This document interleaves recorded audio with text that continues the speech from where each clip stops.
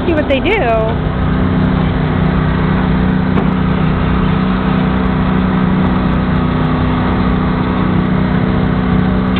This is going on YouTube.